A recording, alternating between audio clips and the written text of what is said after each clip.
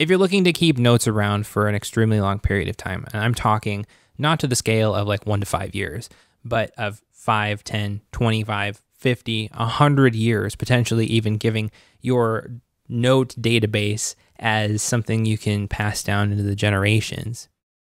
Data portability is an important question to have in the back of your mind. Hey, folks, my name is Justin with Effective Remote Work. Today, we're going to talk about data portability with Obsidian and demonstrate just how possible this is using the VS Code extension Foam. But first, let's talk a little bit about what is data portability. Data portability is the ability for you to move your data to and from an application or a place on your computer or between computers. It's essentially the level of control that you have over your data and where it resides. A full on SaaS application that has your data in a database has lower levels of portability. If you have the ability to export that data to markdown files, the portability increases a little bit, but you lose a lot of the functionality that that application gave you in the first place because there's a lot of fancy database stuff that happens with that. If your application like Obsidian puts your data inside of markdown files by default, then your data portability is much higher because one, you're controlling where those files are stored, and two, the default unit of data that you have is a markdown text file, which is a long standing format as it is. So, why is data portability important? Well, let's talk through an example here first. I was a big fan of Evernote when that first hit the scene over 10 years ago. And to be honest with you, so were a lot of other people. Evernote was once heralded as the poster child of note applications. It really couldn't get much better than Evernote. But over the course of time, Evernote didn't handle their company very well, started losing trust with their user base, stopped shipping important updates to their software and shipped buggy versions of their software. And that was kind of a bummer deal.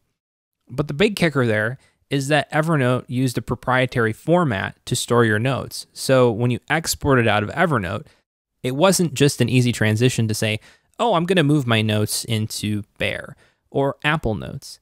You had to do this funky conversion dance, and some of that information was lost in the process. Applications come and go. Roam won't be around forever. Notion won't be around forever. Obsidian won't be around forever. The people who run these applications won't be around forever either. But if you're looking at keeping your notes for a long period of time, you need to have the ability to move that data between different applications.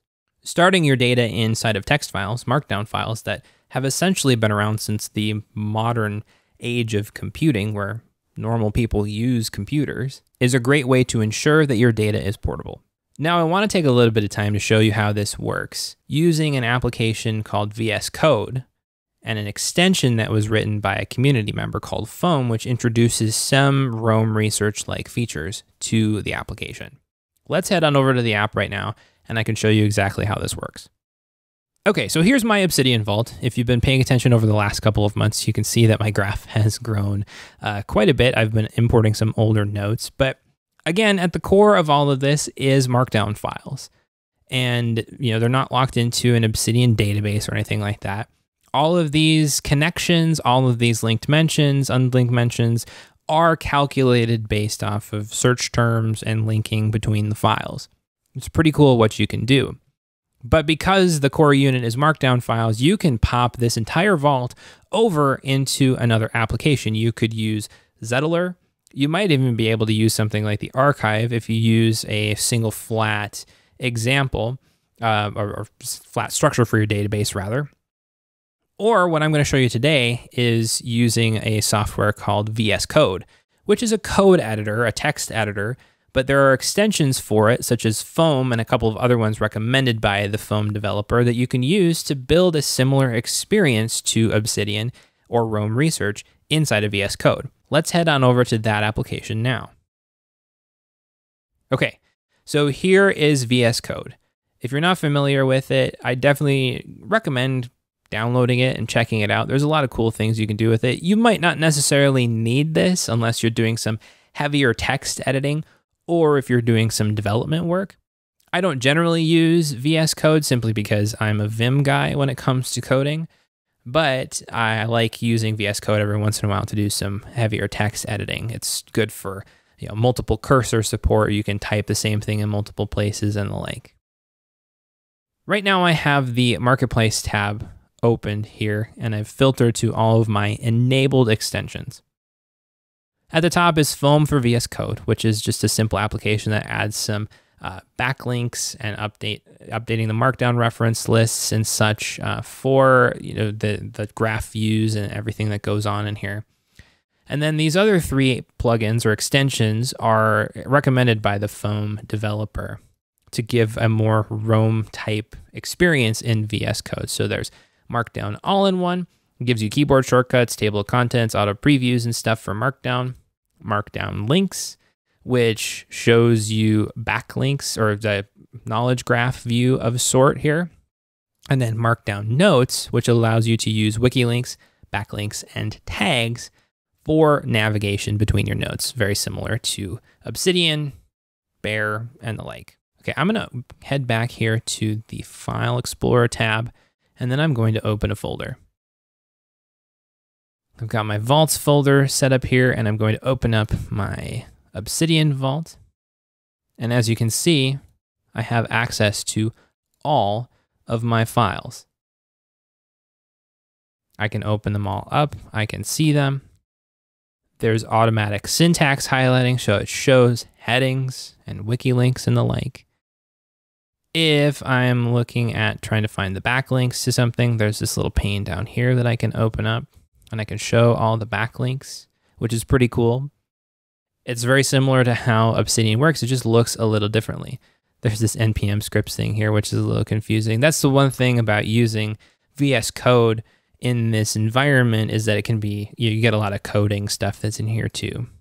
You get outline view of the markdown file. So if you have a view or a document that has lots of headings, you can quickly jump to those different headings fairly easily, which is really helpful to navigate long files. Cool thing about VS Code too is that if you hold like Command Shift P on the Mac, you get a command palette similar to the command palette in Obsidian. Uh, one thing that you can do in here is you can type in commands. Of course, there's a, thousands more commands in here. I don't, I don't know the exact number, but there's an infinite number of more commands in here than in Obsidian because this is designed for code editing and text editing. It's not just designed for taking notes, but there are different commands that you can run for Markdown, such as this show graph link here. If I open that up, it opens up another pane and it automatically generates a knowledge graph. Now, as you can see, it's definitely not as full at this point in time. And I'm guessing this probably has something to do with the fact that I'm using a lot of folders over here, but I haven't dove too deep into foam. The whole point here is I wanted to show you just how capable other pieces of software are in opening up your Obsidian vault to be able to edit or look at or navigate the types of information that you're putting inside of Obsidian. That's really the key here. You can navigate through these files pretty easily over here. Let's see if I jump to that. Still learning the interface here a little bit, so forgive me for that. You know, I can jump into other files as well yeah, it's just kind of random. It's kind of jumping around in and out of things. Um, it's honestly a really powerful experience to be able to say, hey, I can move my data to somewhere else if I, for some reason, don't like Obsidian anymore.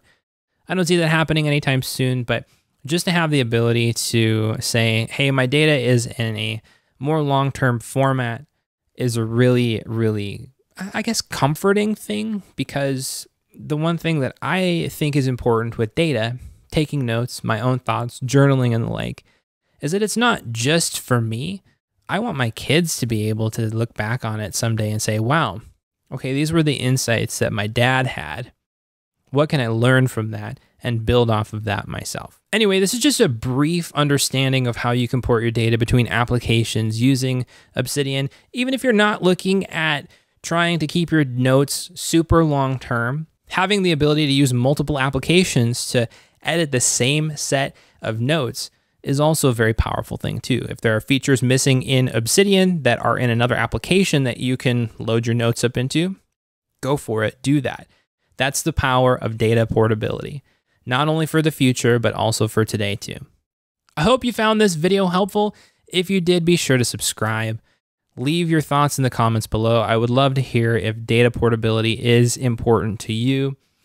Also, be sure to check out our newsletter at effectiveremotework.com slash newsletter to stay up to date with all the content that we're putting out.